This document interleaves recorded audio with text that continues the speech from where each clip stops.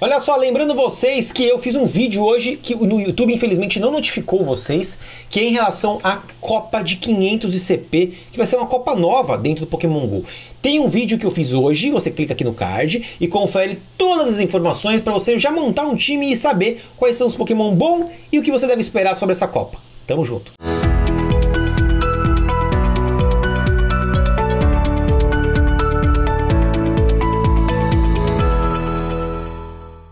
Fala aí galera, beleza? Eu sou o Tiger e seja bem-vindo a mais um vídeo. Se você acompanha o canal, você tá ligado que nas últimas atualizações a gente encontrou informações de como que vai ser introduzido no futuro os próximos leves. E nisso a Niantic estava colocando o seguinte, que não vai ser somente através de XP, e sim também através de alguns requisitos que vão ser impostos dentro do jogo. Bom, o que acontece é que vai ter um teste nos dois países que vão ser aí estrelas desse teste, que é a Austrália e Nova Zelândia, onde vão fazer parte aí de um sistema novo de XP.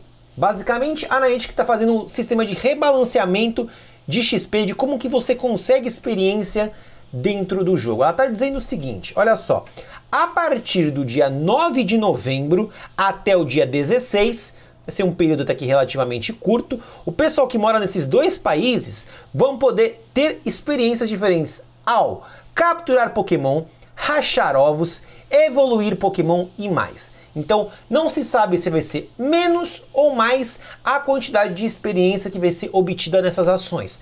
Porém, a Niantic já está testando formas de poder aí implementar novidades no sistema de experiência dentro do Pokémon GO.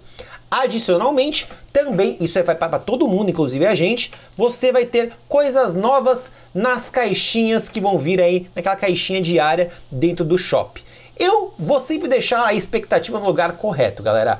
Não vamos deixar, não criar hype, não vamos pensar, ah, ela vai colocar um passe pago, ela vai colocar um passe à distância. Se ela tá dando uma fruta e uma pokebola, vamos de repente dar uma fruta e três pokebolas, né? Tipo, alguma coisa assim Vamos manter as expectativas. O que vier de bônus, a gente tem aí como notícia bacana. O que você achou? Você acha realmente que a Niantic precisa fazer esse rebalanceamento de XP? Como será que ela vai encarar esse desafio em trazer novos levels do Pokémon GO, já que muita gente tem 100, 200, 1 bilhão de experiência, coisas aí que fica muito longe da quantidade de XP que um level 40 precisa. Para quem não sabe, são 20 milhões de experiência para você chegar ao level 40. Comenta aqui embaixo que sua opinião é muito importante. E ó, se você de repente não é inscrito aqui no canal, o momento é agora, se inscreva. Verifique também se você ativou o sininho, para assim você não perder absolutamente nada os vídeos postados aqui. Mas de qualquer forma, vídeos todos os dias ao meio-dia, fechou? Escolhe um dos dois vídeos na tela para continuar vendo o vídeo aqui no canal. E também você pode me seguir nas redes redes sociais que estão aparecendo aqui embaixo. Um grande abraço a você, até o próximo vídeo. Tchau!